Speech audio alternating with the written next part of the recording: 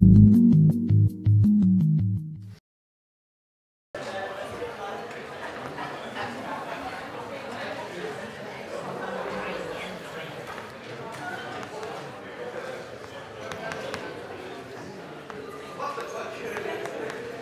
lægger en bjælke op, og jeg har noget armering i, hvis jeg kigger fra siden af. Så er det selvfølgelig langskående armering, top og bund spoilerarmering.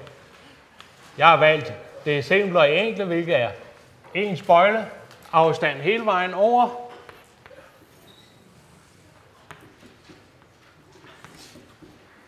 Og jeg har to laste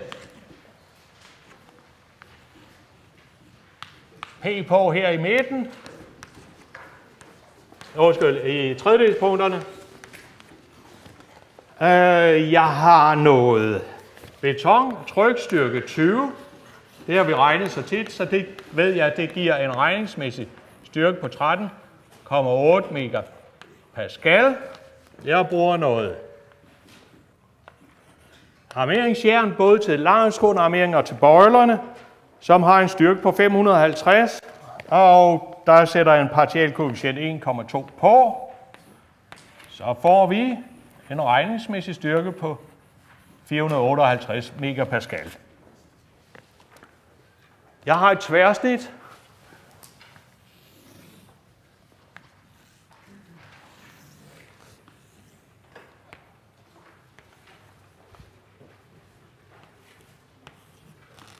Og der ligger nogle tre ø i bunden, og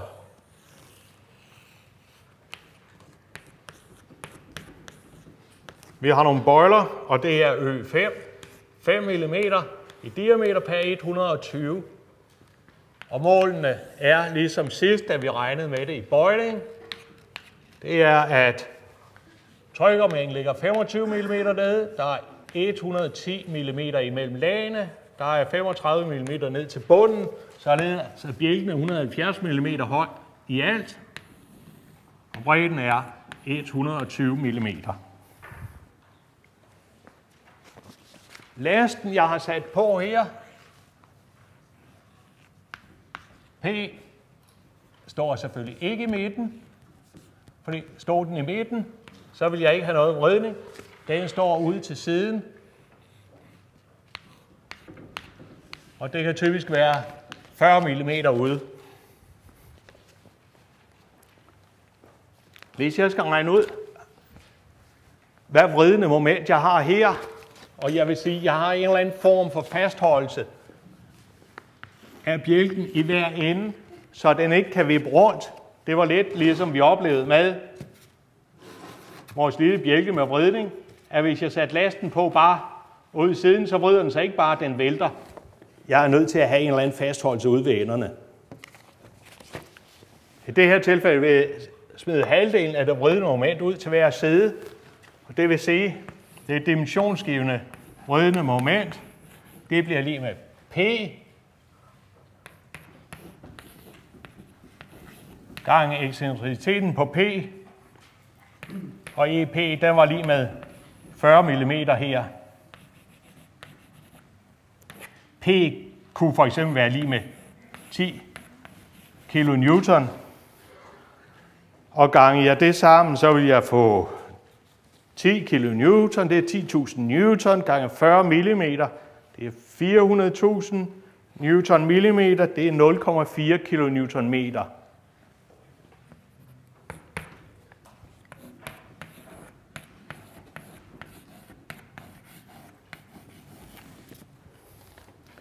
Og øh, nu er mit spørgsmål sådan set, kan det holde?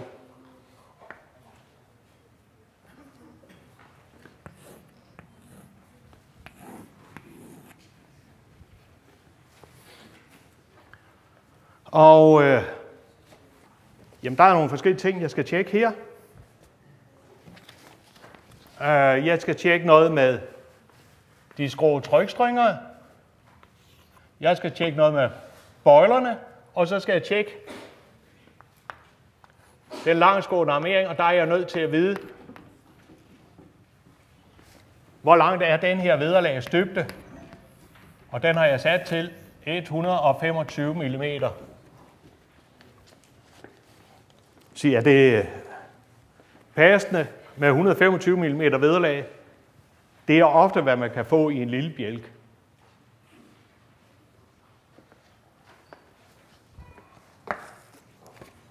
Godt.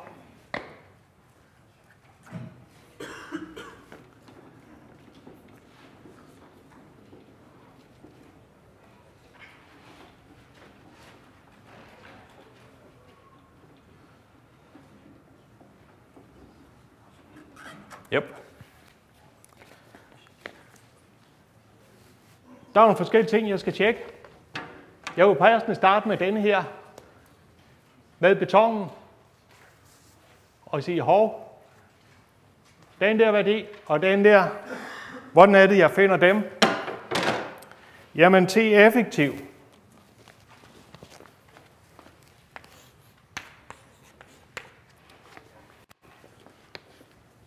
Vil jeg tillade mig lige at hoppe frem der.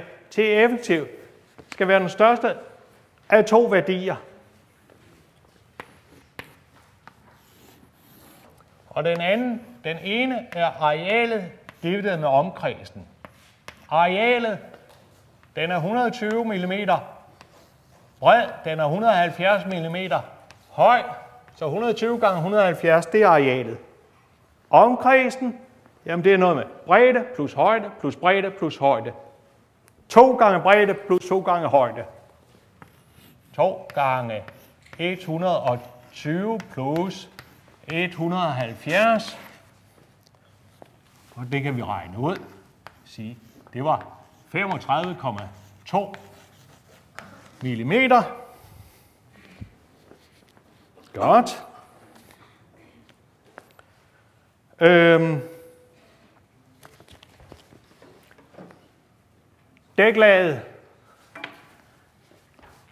her Ja, hvis jeg kunne kigge på et gennemsnit i dæklag, så svarede det til, at der var 30 mm derfra og ud. Det vil sige 5 mm i den, plus 5 mm i den, plus 20 mm. Eller lad os bare sige, dæklaget, altså afstand fra centrum af armeringen ud, er 35 mm her. Den er 25 mm her. I gennemsnit er det 30 mm. Så derfor er hele det der afstand der, det er 30 mm, og vi skal lige gange med 2. 2 gange 30, og det bliver 60 mm. Når en effektiv højde skal være den største af de to, så bliver den altså lige med 60 mm.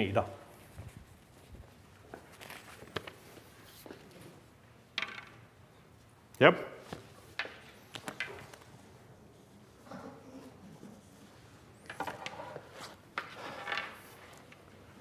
så skal jeg bruge en effektivitetsfaktor, ny T. Og ny T, hvad var det? Undskyld, jeg lige flakker i det. Ny T er lige med 0,7 gange parentes 0,7 minus trykstyrken. Det med 200.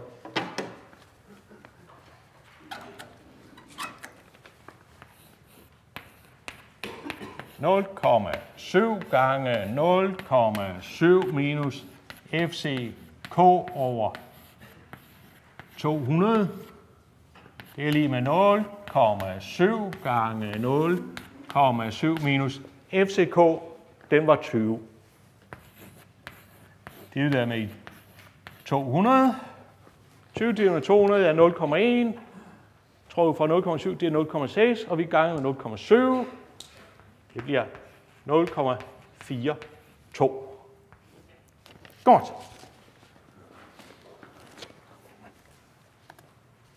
Og det er nemlig godt, fordi den kender jeg, den kender jeg, den kender jeg, den kender jeg, den kender jeg. Kotangens theta kan jeg vælge frit til alt imellem 1 og 2,5. Vi prøvede det et par gange sidst, vi prøvede at starte med at gætte den på 2,5, så fandt jeg ud af, at jeg ville hellere gætte på 1,75, fordi det gav mig mere til forskydning i det eksempel. Jeg vil vælge vælge kotangent theta lige med 1,75. Men det er mit valg. Jeg kunne have valgt 1, jeg kunne have valgt alt mellem 1 og 2,5. Et hvert valg er tilladeligt. Men selvfølgelig, hvis man bagefter vil kombinere det med noget forskydning, så er det måske mest rimeligt at vælge samme kotangens theta til vridning, som man har valgt til forskydning. Men man kan vælge frit.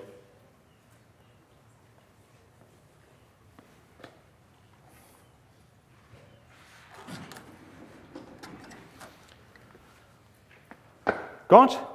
Jamen så lad os komme i gang.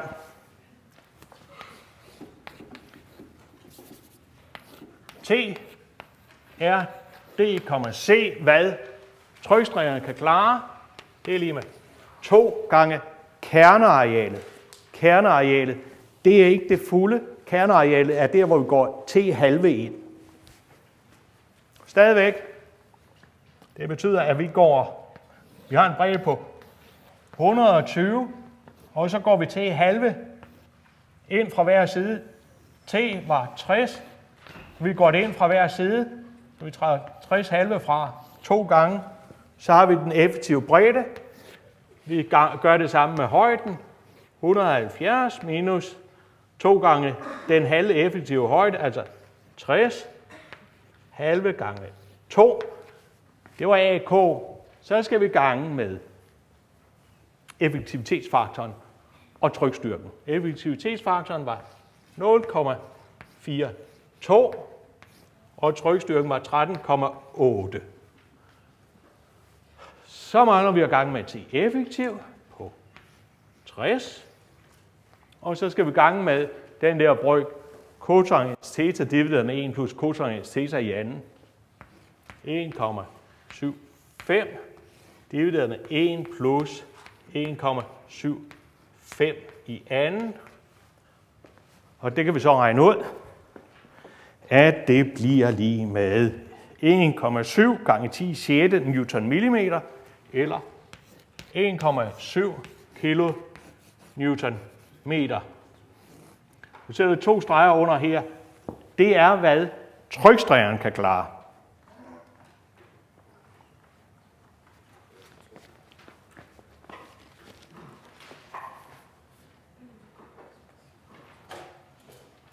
Undskyld, den giver to. Kan jeg se, når jeg sætter ind? Ja. Det er det med at skrive af efter sine beregninger. Man skal huske at få den rigtige med. Uh, det er jo trykstregeren.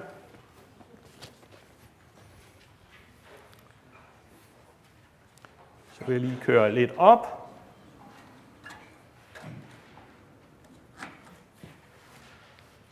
Jeg skal også få noget af, hvad boileren kan klare. RD er det W. Jamen der skal vi stadigvæk gange med to gange kernearealet. Og det var noget med 2 gange 120 minus 60 gange 170 minus 60. Så skal vi gange med bøjlearealet divideret med afstanden. Bøjlerne, det er 5 mm bøjler, så de har et areal p gange 5 halve i anden, og der er 120 mm imellem dem. Bemærk, her er kun én, én bøjle.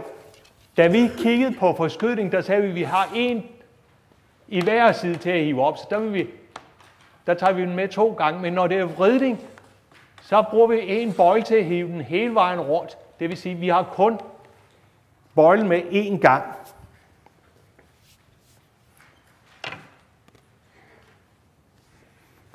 Og hvad skal vi så? Så skal vi gange den her med flødestyrken.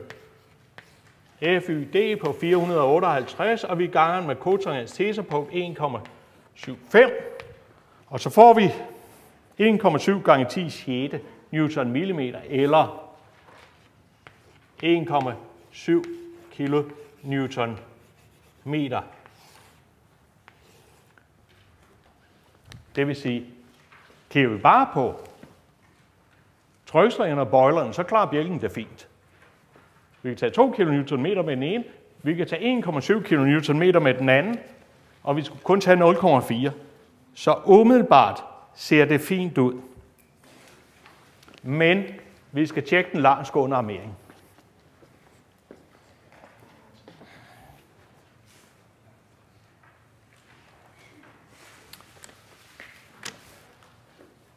Nu vil jeg lige lade, lade folk indhente mig.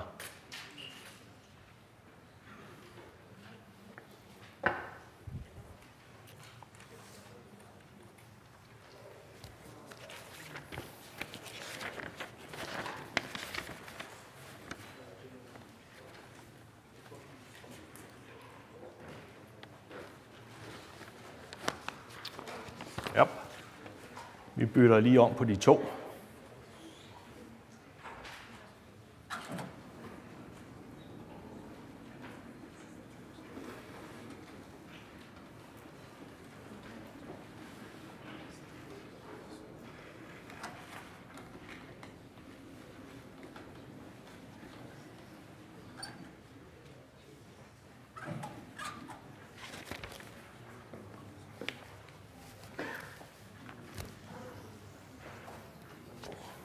Se, jeg mangler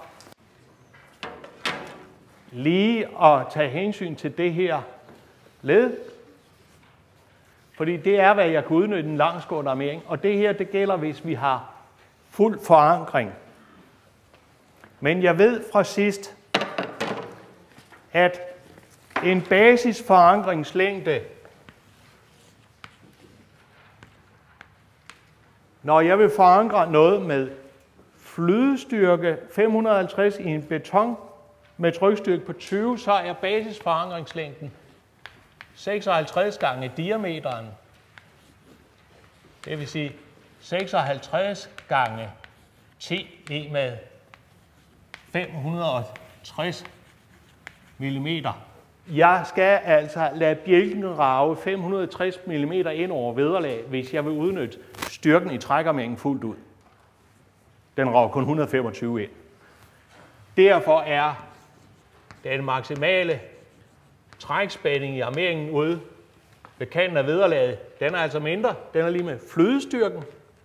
458 gange fra vederlagslængden på 125 delt med 560.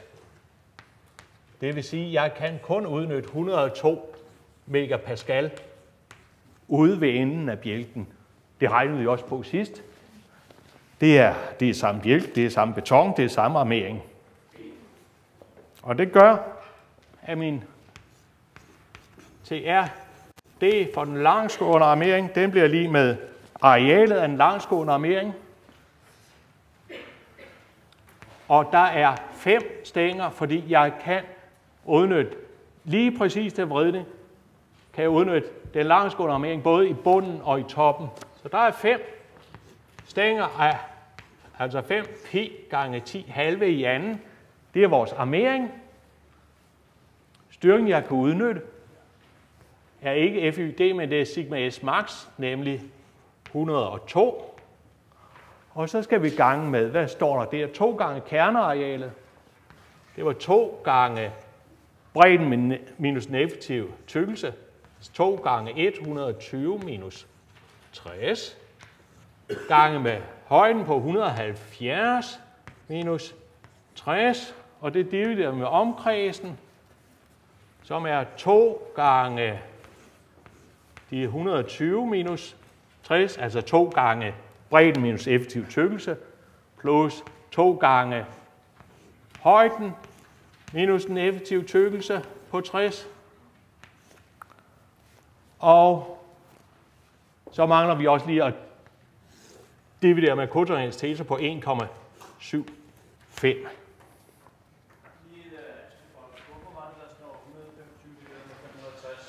Det er fordi, at jeg skal have armeringen til at rave 560 mm ind over vederlaget, før, før jeg kan udnytte flydestyrken. Altså øh, 500, 560 mm er at betongen skal have fat i armeringsjernet, før det kan udnytte det.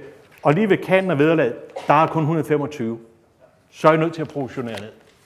Og derfor ender jeg i den meget begrædelige situation, jeg kan ikke udnytte den fulde flydestyrke lige der, men kun det mindre.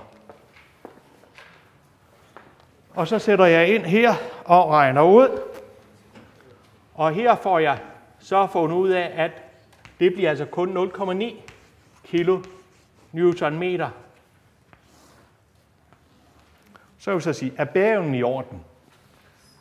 Ja, vi har valgt en kotangens theta frit. Vi har valgt en til 1,75. Alt imellem 1 og 2,5 vil være i orden. Så vi har startet med at vælge den til 2,5. Og vi kan se, at med, den, med det valg, der kan trøstringerne klare et vridende moment på 2 km bøjlerne kan klare et på 1,7 kN, og langsgående kan så kun klare 0,9 kN. Så hvad er bæven nu? De er 0,9 kN i vridning. Det er faktisk i orden, fordi jeg havde ikke brug for mere end 0,4. Så den kan altså bære mere end det dobbelte i vridning, end hvad jeg har brug for.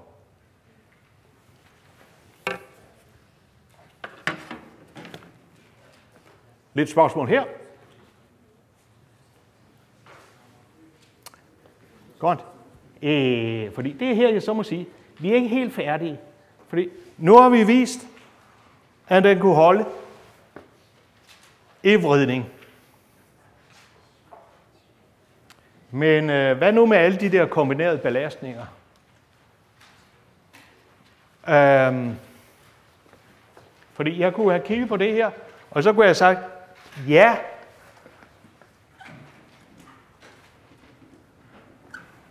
det der var det vridende moment, jeg skulle klare. Den forskydende kraft, jeg skulle kunne klare. Ja, hvad er den?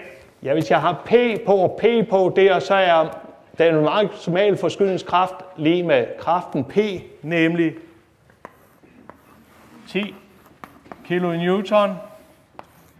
Det bøjende moment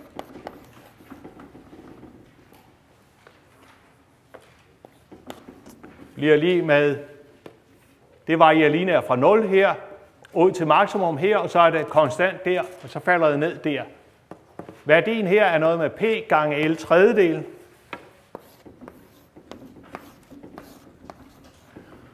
Og øh, jeg har ikke oplyst jer, hvad L er, men vi kan sætte L til 1,8 meter. Det var, hvad jeg regnede med i bøjningen. Så 10 gange 1,8 8 meter divideret med 3, det er 0,6. Det er 6 kilo newton meter. Og nu er min næste spørgsmål. Kan det så bære den kombination?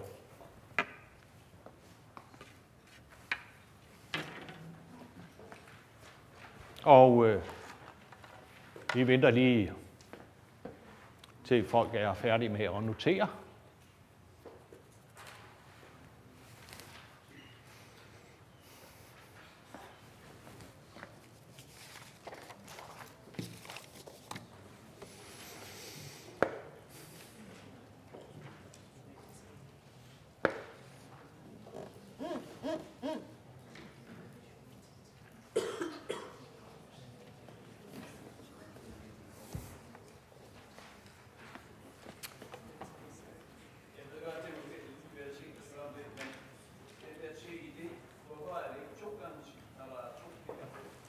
Undskyld, hvad? Den der TID, der vi valgte, den, ja. hvorfor er det ikke 2 gange 10, når der er nummer 2 P'er på?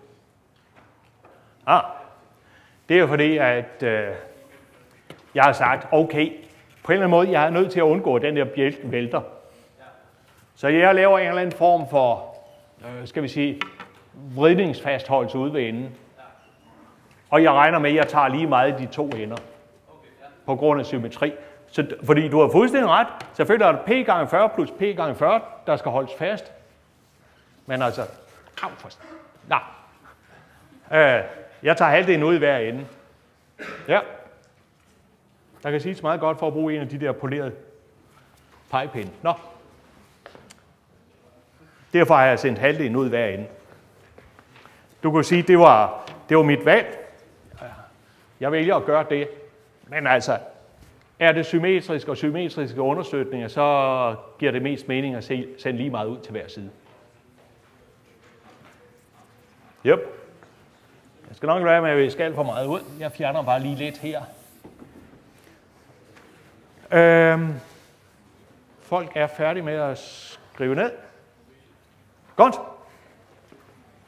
Fordi nu har vi sådan en bjælke her.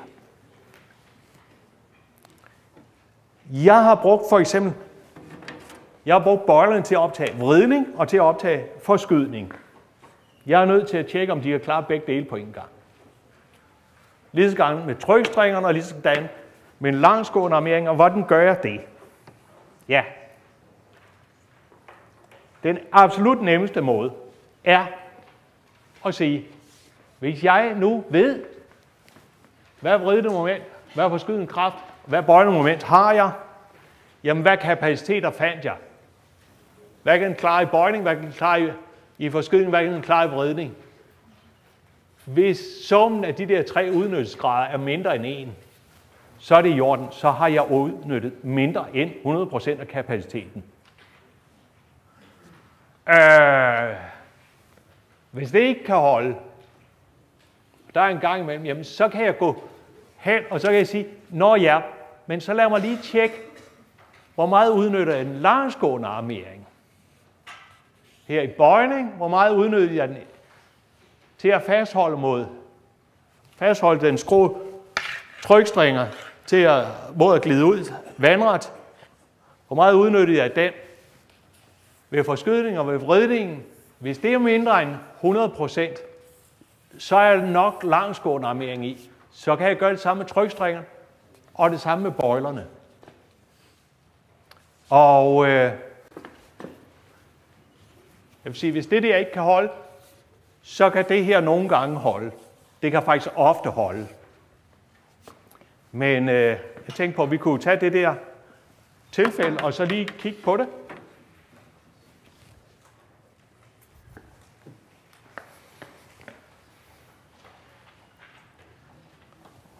Kan lige starte med at skabe lidt mere tavleorden. T, E, D var lige med 0,4 kilo newton meter. MED var lige med 6 kilo newton meter. Det var det, de skulle holde til. Og øh,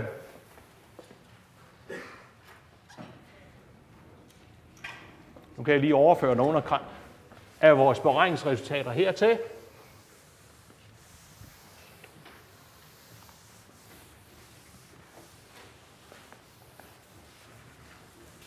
så kunne vi sige, at hvis det drejede sig om T er D, C, så var den 2,0 kilo newton meter.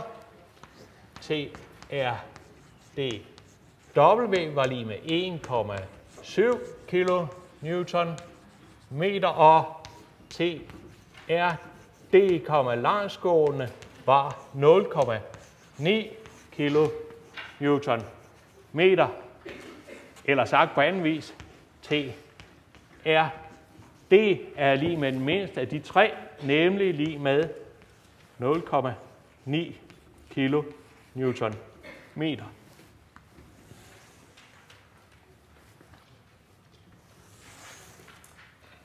Havde jeg regnet på bøjningen, og det har jeg jo, det er bare tre forelæsninger siden.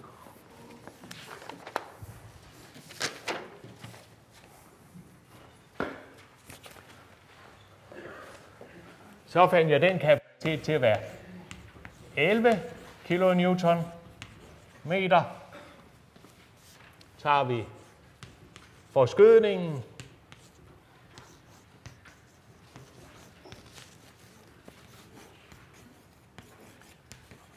og sagde, hvad var det, jeg havde kunne regne mig til der?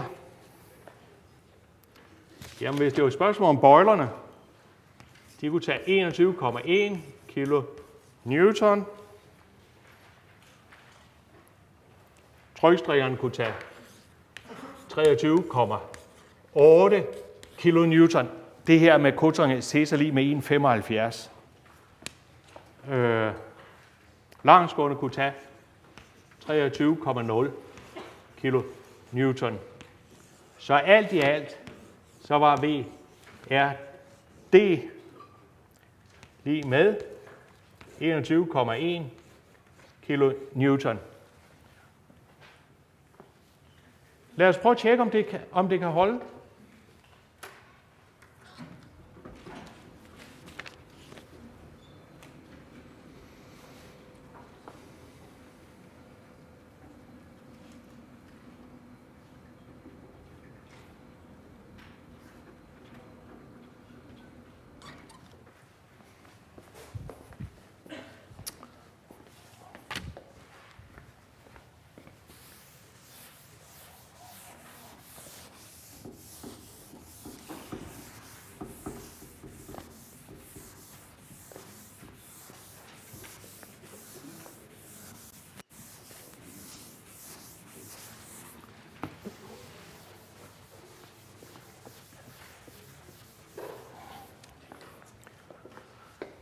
Godt. Når jeg skal tjekke, om det der kan holde, hvad gør jeg så? Jamen, øh, jeg har jo to muligheder. Jeg kunne starte med en simple, eller jeg kunne tage den mere komplicerede. Den mere komplicerede giver en bedre udnyttelse af materialerne end, end den enkle. Men øh, stadigvæk, lad os starte på at gætte på, at vi kunne klare os med det enkle. Og det enkle, der tager vi og siger, momentet, MED, den var 6 kN. Momentkapaciteten, kunne vi se deroppe, var 11,0. Så tager vi og kigger på forskydende kraft. Jamen, forskydende kraft, maks forskydningskraft var 10 kN. Det har vi stående her. Og hvad kunne vi klare i forskydning? Vi kunne klare 21,1 kilonewton. Og så tager vi og kigger på vridningen. Hvad var vridende moment maksimum? Det var 0,4. Og hvad kunne vi klare? Vi kunne klare 0,9. Og så kan vi prøve at regne ud. Det der, det giver et eller andet 0,54. Det der giver også et eller andet 0,54, og det der giver måske 0,44.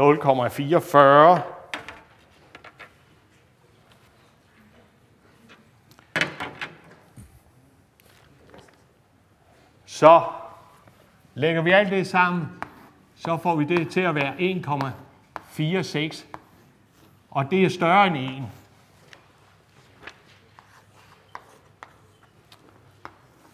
Det vil sige, med en simple beregning her, får vi det ikke til at holde. Det er jo fint. Bjælken kunne klare et bøjdemoment. Sagtens. Bjælken kunne klare forskydningen. Sagtens. Bjælken kunne klare det vridende moment. Sagtens. Men bjælken kunne altså ikke klare belastningen, fordi det gav både bøjning, bøjdemoment, forskydende kraft og vridning. Og vi kan se her, vi er fint og flot røget 46 procent over den maksimale bæreevne. Hvad gør man i sådan en situation her? Ja, kan man reducere øh, belastningen, så er det fint. Kan man lave designet om, så er det fint. Øh, ofte kan man ingen af delene. Så må man prøve med en finere beregning. Og øh, det kan vi godt gøre. Men tror jeg, måske hjælper det ikke så meget i det her tilfælde. Men vi prøver med en finere beregning.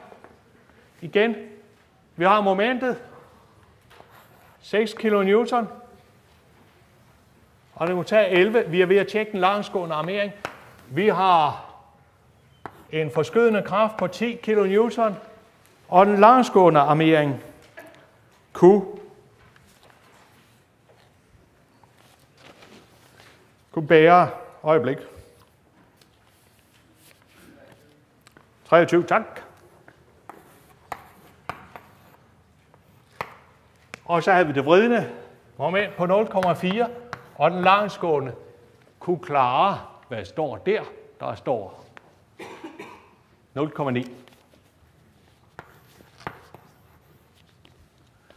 Øhm, det må jeg jo blande indrømme, det bliver lige med 1,41, og det er stadigvæk over 1. Så den kan ikke, den kan ikke bære. Heller ikke selvom jeg tager den hver for sig. Øh,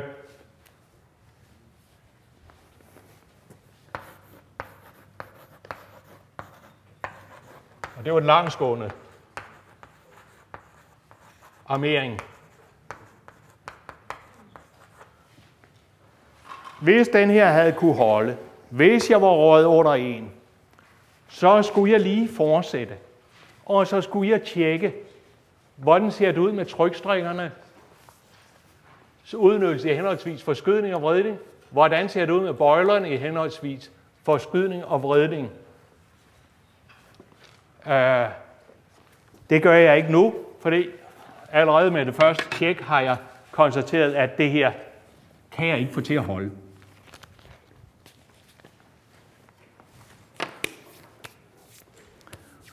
Og det er egentlig så langt, som vi kommer med det her regneeksempel.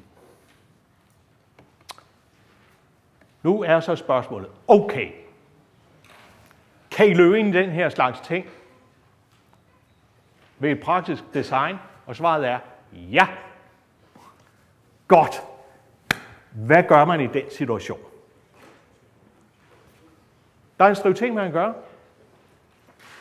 Det første, man kunne gøre, var, at man kunne have ændret i sit valg af kotangens theta. Det er jo det, at jo større kotangens theta vi har, jo fladere kommer trykstrængerne ned. Jo større kotangens theta er, jo større krav stiller vi til den langsgående armering.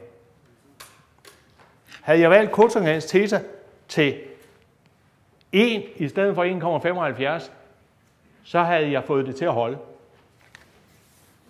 med den langsgående. Men så skal jeg selvfølgelig tilbage og tjekke for trykstrækkeren og bøjlerne. Så man kan ændre på sin beregningsmodel. Det var den ene mulighed. Anden mulighed er, at man kan prøve at se, om ikke man kunne få lidt mere vederlag end lige de der 125 mm. Det kunne være, at man kunne måske få 50 eller 75 mm mere. Det vil også hjælpe meget på den der spænding, vi kan udnytte i den langsgående armering. Husk på, vi skulle egentlig bruge 560 mm vederlag for at udnytte armeringen fuldt ud. Vi havde kun 125. Hvis vi kan øge de 125 til 250, så kan vi udnytte den langsgående armering dobbelt så meget i vridning og forskydning. Det vil sandsynligvis løse problemet. Sidste mulighed er at arbejde med forankringen af armeringen.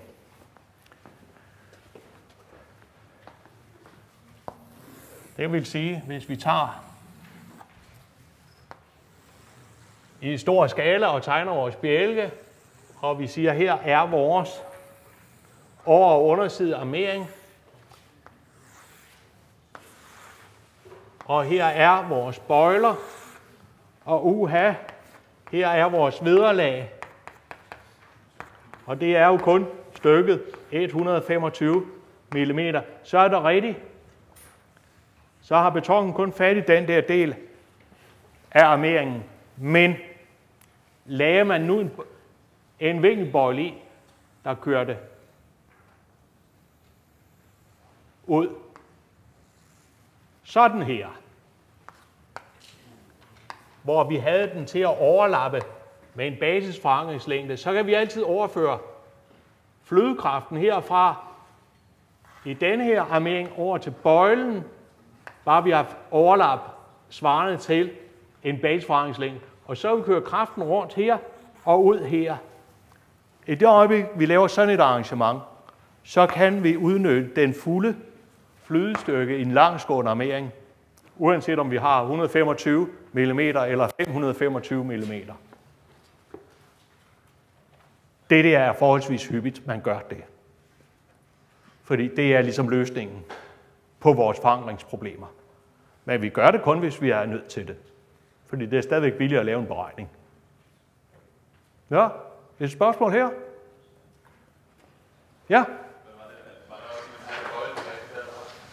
Ja, jeg, jeg lægger en bøjle i, som kører rundt her. Fordi så kan jeg udnytte den fulde flydestyrke i den her armering. Når vi kommer hertil, så kan jeg overføre spændingerne fra den her armeringsstang til den her, fordi de lapper nok over hinanden.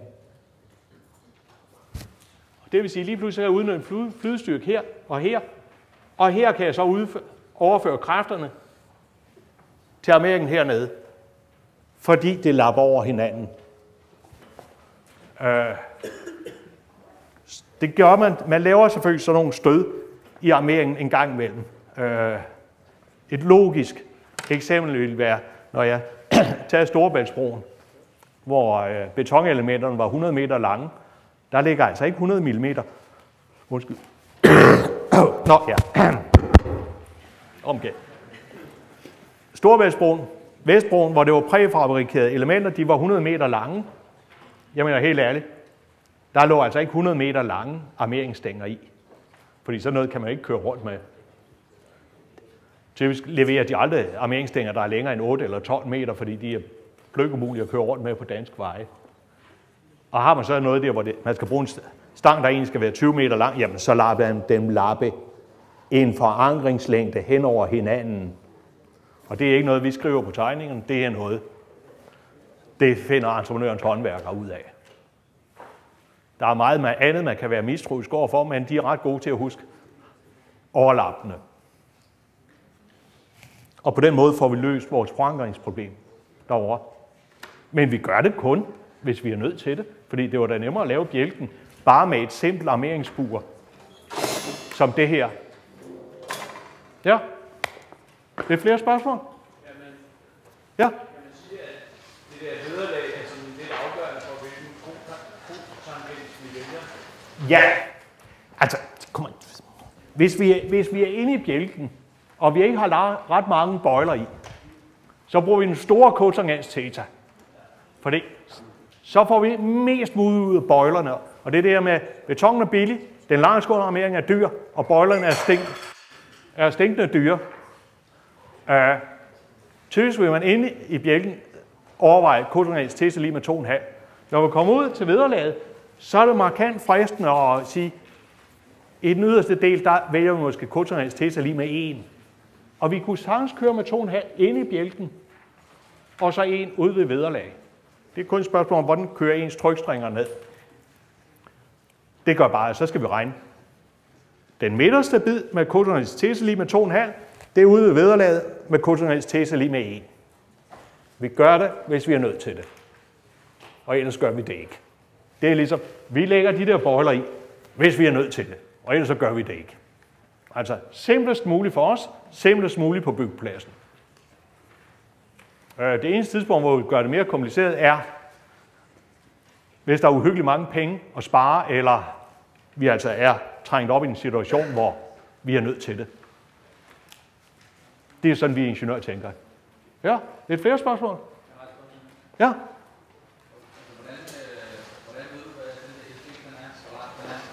Se, det var det, vi kiggede på sidst, at vi kunne slå op i tabel...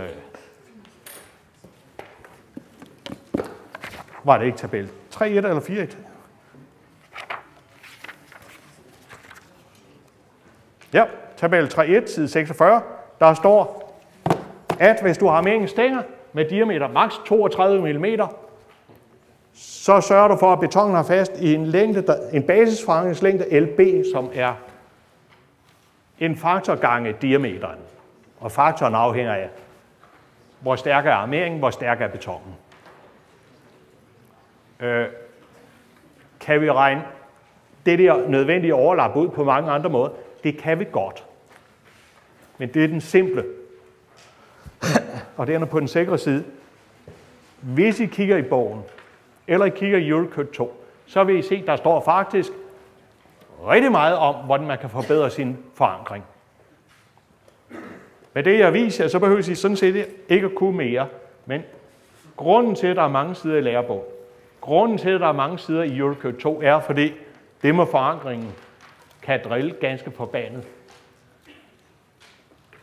Og øh, altid, hvis I kan klare det med en simpel løsning, så gør det med en simpel løsning. Det er det, der er nemmest at regne på. Det er det, der er nemmest at få til at virke ude i virkelighedens verden. Men øh, der er altså mange sider om det. Og det er en klar indikation af, at det kommer man en gang imellem til at fedte meget rundt med. Ja, flere spørgsmål? Så er jeg løbet tør for eksempel. Jeg er løbet tør for overhead. Vi er færdige for i dag. Vi ses klokken 3.